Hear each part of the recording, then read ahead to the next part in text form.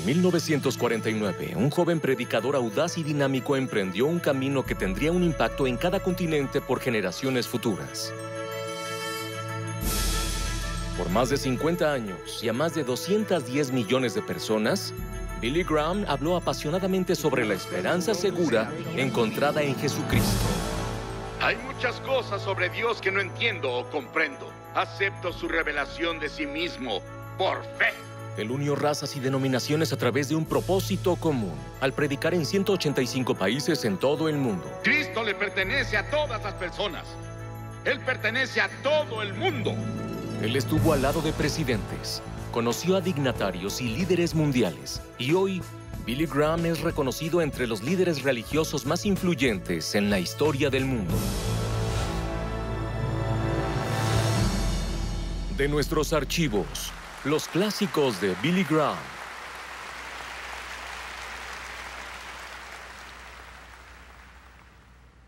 Esta ha sido una maravillosa tarde y les doy la bienvenida a los que nos acompañan por televisión.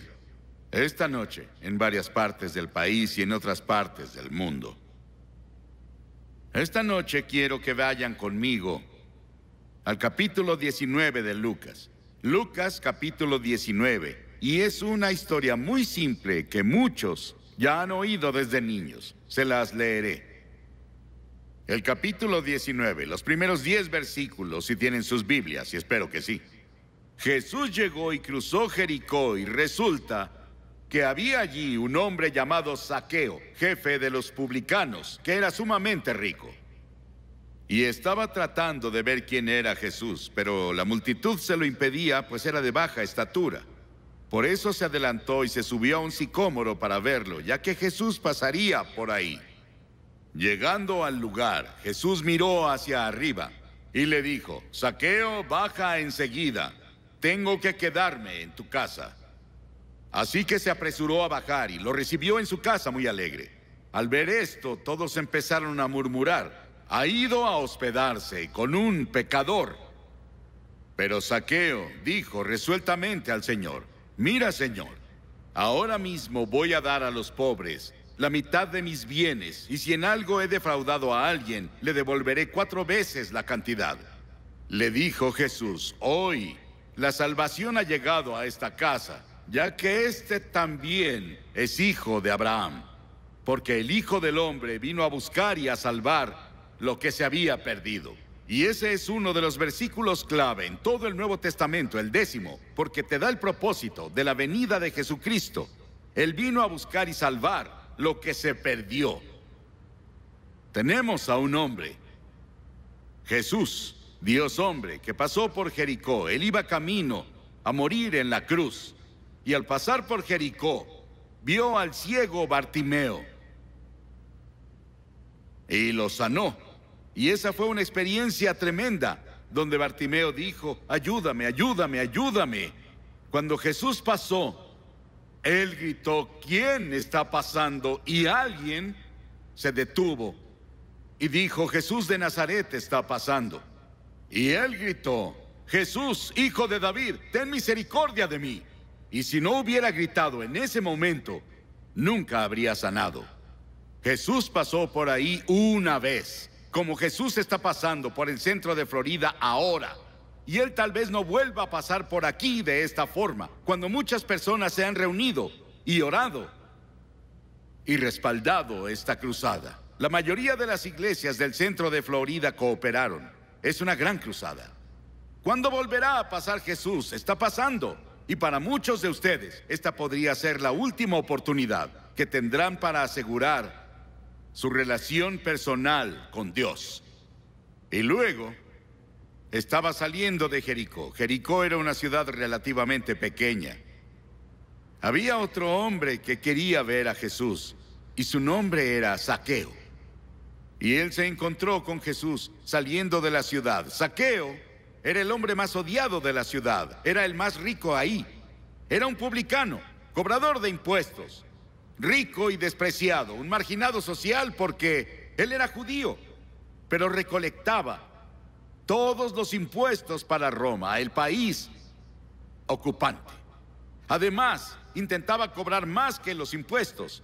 pagaba a Roma y llenaba sus bolsillos. Así eran los cobradores de impuestos de esos días. Se volvían las personas más ricas de la ciudad y los hombres más despreciados de la ciudad porque los veían como traidores a su propio pueblo.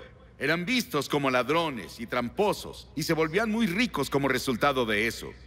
Ahora, si Jesús considerara la opinión pública, lo hubiera ignorado al verlo cuando llegó a ese árbol sicómoro a donde Saqueo se había subido.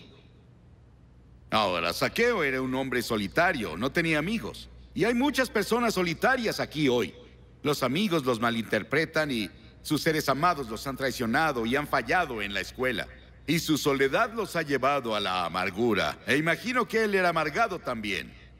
Porque casi todas las personas de la ciudad lo despreciaban. Él era odiado y lo evitaba la mayoría de la gente, pero tenía curiosidad. Él tal vez escuchó sobre Jesús muchas veces.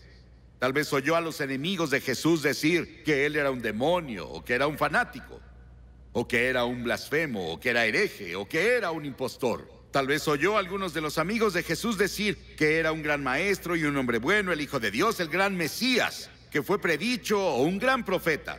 Pero él quería verlo por él mismo. Puedo ver a Saqueo intentando pasar la multitud. Era un hombre pequeño. E imagino que algunas personas intentaron empujarlo y algunos sacaban el pie para hacerlo tropezar y caer. Él intentaba correr muy rápido. Tal vez si viviera hoy habría tenido una cámara instantánea para sacarse una foto con Jesús como la de mi esposa. Ella tiene una. Y yo disfrutaba el matrimonio antes de que la tuviera. Y la disfruto ahora. Me tomó una foto el otro día y dice que salgo en la Laguna Dorada. Porque tenía un viejo sombrero y unas gafas viejas y estaba sentado a un lado del eh, estanque de peces. Y ella tomó una foto y la está mandando a, tal vez en nuestra tarjeta de Navidad. Y si Saqueo hubiera tenido una grabadora de voz, recuerdo que cuando estábamos en Hungría, en el primer servicio había varios miles de personas, como 15 o 20 mil personas en el primer servicio al aire libre, a las afueras de Budapest. Y cuando me subí a predicar oí todos esos sonidos de clic. Me volteé a mi esposa y le dije, ¿están crujiendo los dientes? Y ella dijo, no, son grabadoras de voz. Todos tienen una grabadora. Y ellos estaban grabando el mensaje y lo enviaban a toda Europa Oriental. El mensaje que había predicado. Y fue algo impresionante para mí en Budapest que pudieras ir a las librerías y comprar mis sermones. Los volvieron libros. Y prediqué sermones directos del Evangelio como lo hago ahora. Dios está haciendo cosas extrañas y maravillosas y emocionantes en el mundo. Cosas misteriosas. Cosas que sobrepasan nuestro entendimiento. El diablo trabaja, pero también Dios trabaja. Este hombre, Saqueo, estaba tan ansioso por ver a Jesús que decidió escalar un árbol. Él se subió a un árbol sicómoro. Hay muchos obstáculos para llegar a Jesús que también tú enfrentas. Él enfrentó el obstáculo de que había muchas personas ahí y era de pequeña estatura. Imagino que él estaba sentado ahí en esa rama con una grabadora o una cámara. Él quería tener todo lo que Jesús dijo, estaba muy interesado. Tú también tienes obstáculos. Verás, la Biblia dice que Jesús dijo, ¿qué aprovechará al hombre si gana todo el mundo y pierde su alma? Y en toda la Biblia encuentras decisiones tomadas entre las cosas del mundo y las cosas de Dios. Moisés tenía que tomar una decisión. Él debía elegir entre toda la riqueza de Egipto y todo el poder de Egipto como heredero al trono de Egipto. Y tuvo que darle la espalda a eso y seguir a Cristo. Abraham tuvo que abandonar todo lo que conocía para irse a encontrar una ciudad cuyo constructor y hacedor era Dios, por fe. Y los pecados secretos se han vuelto obstáculos para llegar a Cristo. Las escrituras dicen, perdónenme los que me son ocultos. Verán, el hombre mira la apariencia exterior, pero el Señor mira el corazón. Él sabe lo que pasa dentro de tu corazón. Él sabe lo que imaginas, lo que piensas, lo que fantaseas. Él sabe las cosas que codicias. Conoce los pensamientos malvados y el orgullo, los celos, la avaricia de tu corazón. Y Él juzga por lo que ve adentro, no solo por lo que ve afuera. ¿Y cuántos de ustedes son miembros de la iglesia con la cuota del día? Oficiales en la iglesia. Enseñan en la escuela dominical. Pero dentro de ti sabes que su corazón es tan oscuro como el de algunos de los peores pecadores. Y sabes que eres un hipócrita y te avergüenzas, no sabes qué hacer al respecto y desearías de alguna manera encontrar paz y no has podido hallarla. Haz tu compromiso con Cristo esta noche y di, Señor, perdóname. Quiero volver a ti.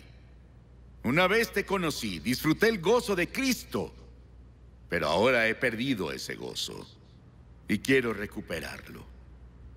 La arrogancia también puede ser un obstáculo. Hay generación limpia ante sus ojos y bien no se ha limpiado de su inmundicia. La arrogancia es como los hipócritas en los días de Jesús. Ahora, Saqueo estaba sentado ahí. Él se abrió camino al árbol sicomoro, como tú te abriste camino. Aquí la curiosidad lo llevó, la curiosidad. ¿Sabes cuántas personas encuentran a Cristo por curiosidad? Viniste a esta reunión por curiosidad, muchos de ustedes. Muchos vinieron porque alguien los trajo, pero vinieron por curiosidad. Nos enteramos de un hombre la otra noche que iba pasando por la carretera y vio las luces. Creo que estaba en uno de los periódicos, en uno de los periódicos que leo. Y él se detuvo aquí y encontró un lugar para estacionarse por ahí y caminó hasta aquí y el servicio ya iba a la mitad.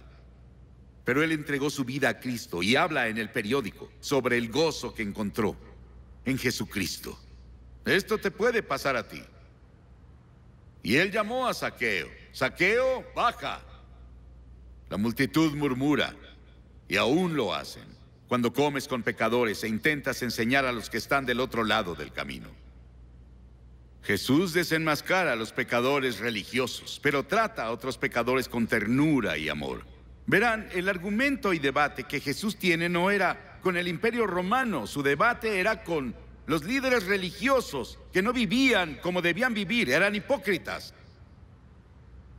Y hay muchos de nosotros así, hemos desarrollado lo mismo. Y esto es cierto en algunas partes de nuestro país donde las personas van a la iglesia, en grandes números, pero durante la semana no viven la vida diaria con Jesús. Pero Jesús nunca lo puso fácil. Él no ofrece una gracia barata, una salvación barata. Cuando llegas a Cristo, debes estar dispuesto a arrepentirte del pecado y recibirlo en tu corazón. Y noten que dijo que era un llamado urgente. Dijo, deprisa, baja ahora. Este es el momento propicio. Hoy es el día de salvación. No hay promesa para mañana. No hay promesa en la Biblia que diga que estarás vivo mañana. Dios no hace promesas para mañana. Es hoy, ahora, ahora, ahora, ahora, en toda la Biblia. Y fue un llamado exitoso, porque Jesús fue a la casa de Saqueo. Tal vez llevó a Mateo con él, porque Mateo había sido un publicano y un cobrador de impuestos. Y Jesús dijo, sígueme. Y Mateo se levantó y lo siguió. Y tal vez llevó a Mateo con él para darle testimonio a Saqueo, no sé. Pero Saqueo tal vez estaba muy orgulloso al mostrarle a Jesús todas las cosas en su casa, todo el arte que tenía, y sus sirvientes, y sus hermosas alfombras que tenía en el suelo, y los hermosos ventanales que tenía y la hermosa vista al pasto y todo eso. Él estaba orgulloso de todo eso, pero Jesús tal vez se paró ahí viendo a Saqueo.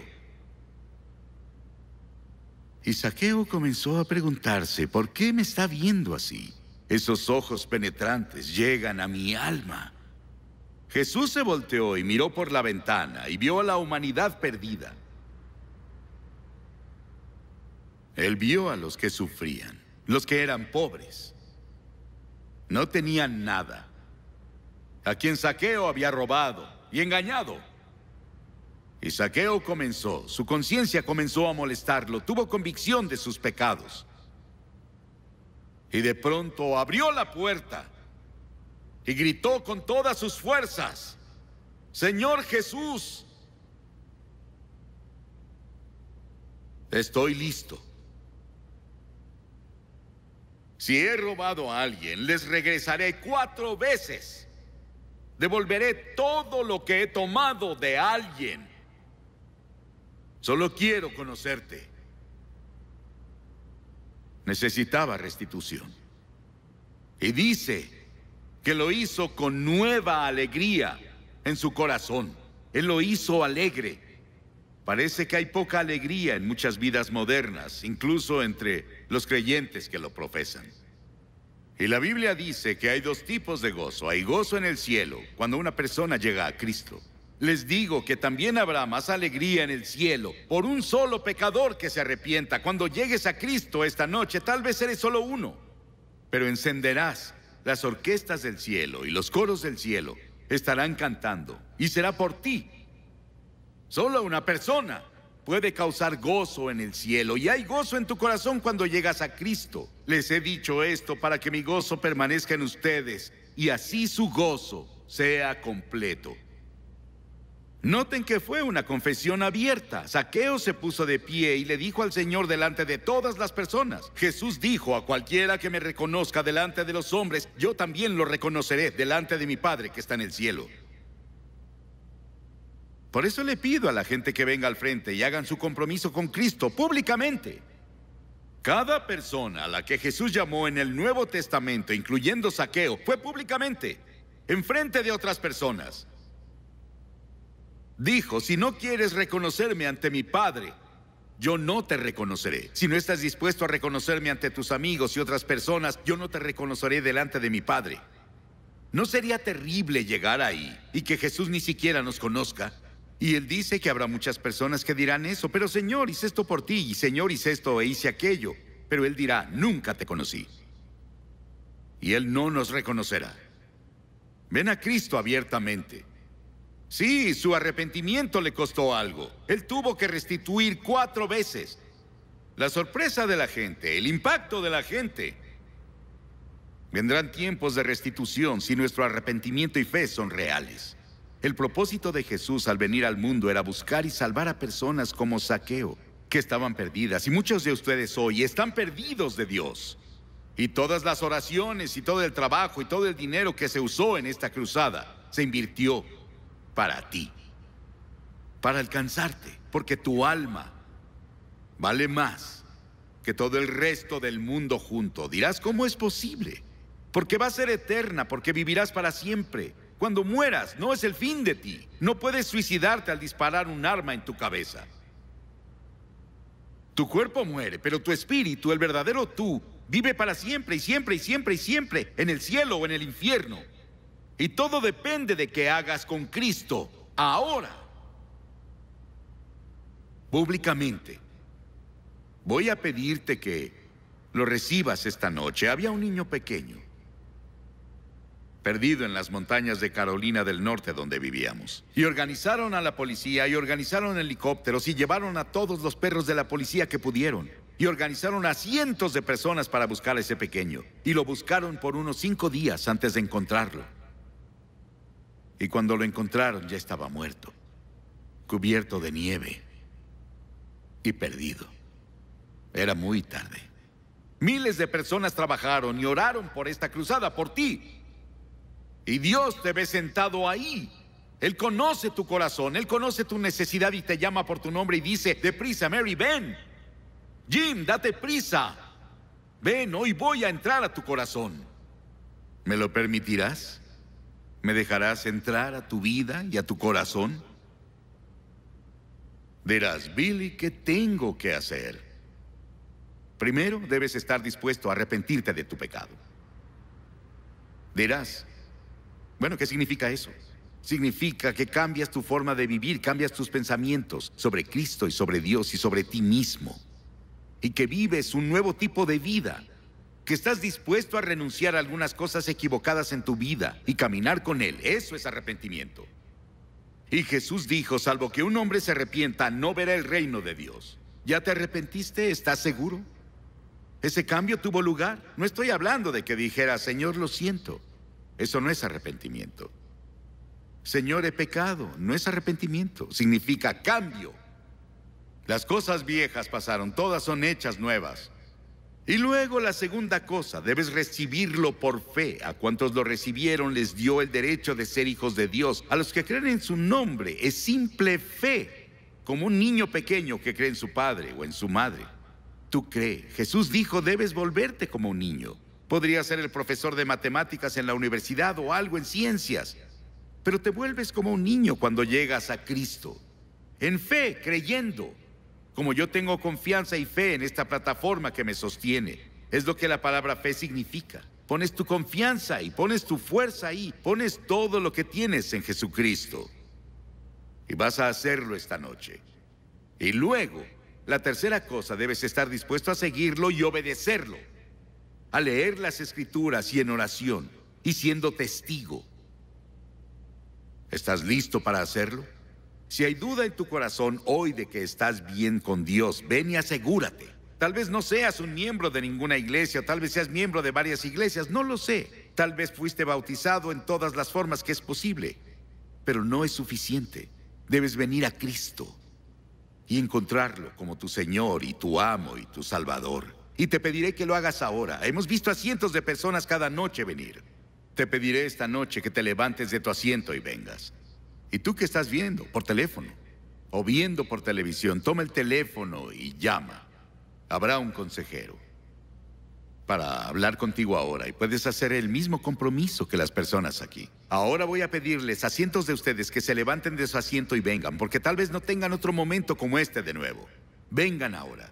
Si vienen de arriba del balcón, les tomará dos minutos. Así que vengan ahora. Si están con amigos o parientes o vienen en autobús o con un grupo, los esperarán. Cuando todos hayan venido, voy a decirles unas palabras y oraré con ustedes. Y les daré literatura para ayudarlos en su vida cristiana. Levántate y ven. Sabes que necesitas a Cristo. Trae a tus amigos contigo. Esposos y esposas, novios y todos los grupos que están aquí esta noche necesitan venir. Levántense y vengan, vamos a esperar. Jóvenes y viejos. Hay algunas personas mayores aquí esta noche. Escucharon el Evangelio muchas veces, pero nunca han encontrado la paz en Dios. Y no están seguros sobre su relación con Él. Vengan y arréglenlo hoy. Vamos a esperar que muchas personas vengan de todos lados.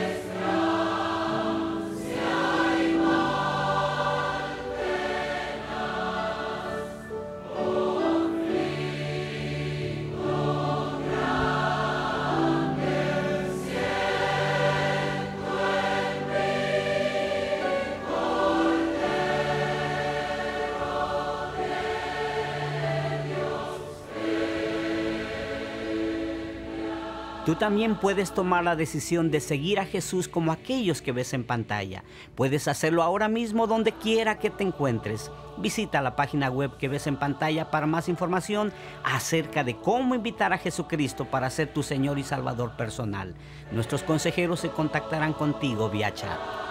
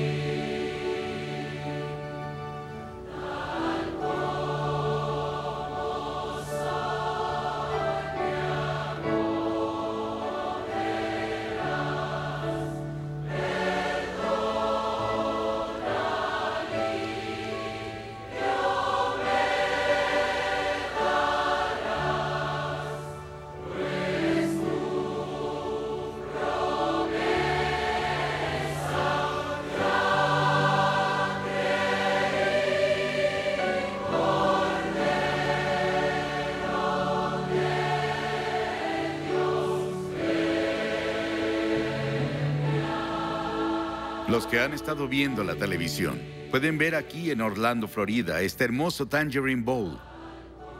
Pueden ver que muchas personas vienen a hacer su compromiso con Cristo. Puedes hacer ese compromiso ahora, donde estés. Podrías estar en un bar, estar en un hotel, estar en tu sala o en tu recámara. Ahí donde estás, inclina la cabeza y di, sí Señor Jesús, ven a mi corazón. Y Él te llevará el mismo gozo y paz que trajo a mi corazón, o a los que han oído hablar esta noche o cantar.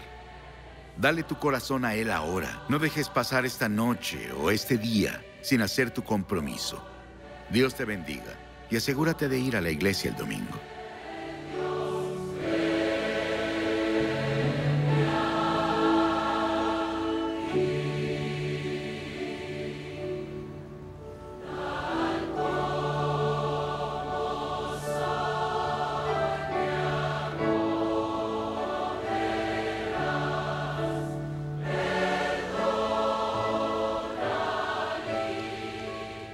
¿Cuáles son los obstáculos que evitan que te vuelvas a Dios? ¿Te preocupa lo que otros piensen? ¿Los pecados secretos te lo impiden? Lo que sea, Dios ya lo sabe y te ama de todas maneras. Él quiere perdonarte y hacerte una nueva criatura. Visita la página web que ves en pantalla. Esperamos conversar contigo. Tenemos recursos bíblicos para ayudarte a crecer en tu fe. Queremos que sean tuyos. Son los mismos materiales que les damos a todos los que responden a la invitación de Billy Graham. Toma un momento para contactarnos. Visita la página web que ves en pantalla. Esperamos conversar contigo. Recuerda, Dios te ama.